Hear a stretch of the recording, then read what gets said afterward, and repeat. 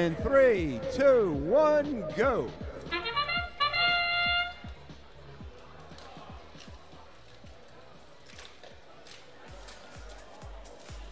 And in this autonomous period, it looks like a lot of robots are looking for something.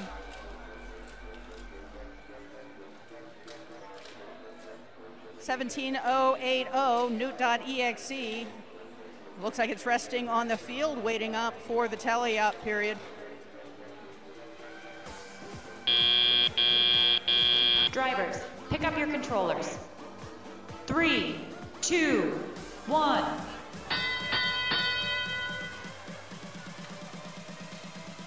Sixty-one thirty-three. The nuts are out, and they are putting a and there, there now it sits.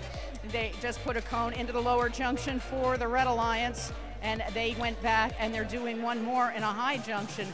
Their alliance partner 14481, Don't Blink, has also put a cone in. They're doing what they can to pick up cones off of the stack that is in the front side of the field. 17080 Newt.exe on the front of the field for the Blue Alliance, creating a pattern that only they know how to do. And now they're also the high junction and they are peppering the field with blue cones. Their alliance partner, 14270 Quantum Robotics, trying to find an opening with a cone in hand or with a cone in bot, trying to find a cone and get that out of there because right now it looks like they can't grab that cone. So they now have created a different strategy for this match. 45 seconds left in the match.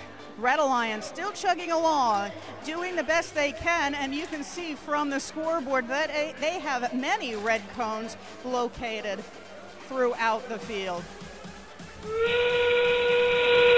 And now we are in endgame. 14270 Quantum looks like they do have a blue cone now, and they're just going to see what they can do with it.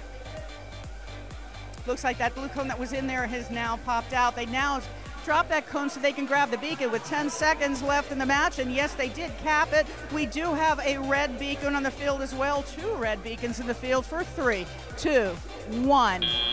And that is the end of qualification match 29.